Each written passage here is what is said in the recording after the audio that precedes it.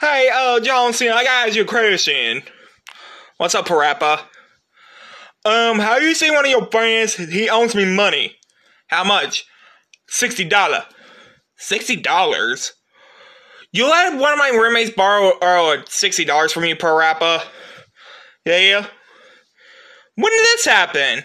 Uh, like three months ago, and you never paid me back. Whatever, Parappa, I'm trying to do something here.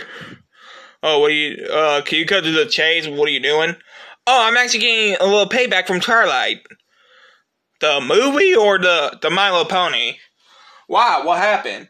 She pranked me from the last plush video, which not to mention you wasn't in, and I got pranked because I thought she lost her memory.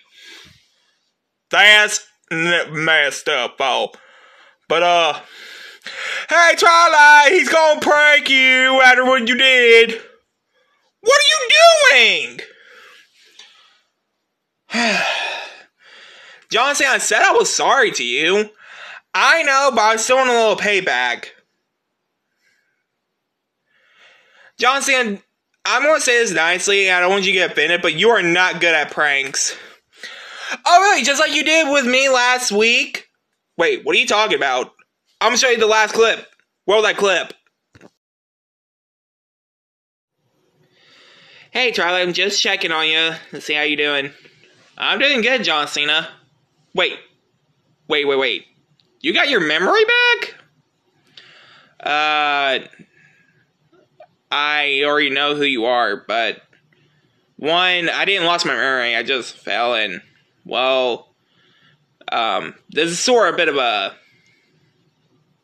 payback. Wait, what? You wait a minute.